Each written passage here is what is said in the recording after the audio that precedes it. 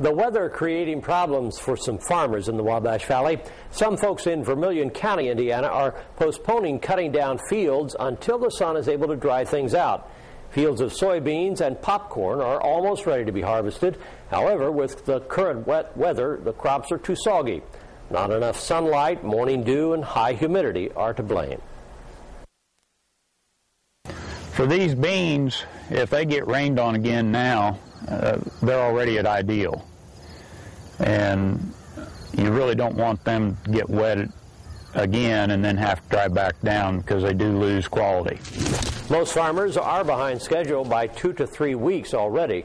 More rain could put them even further behind.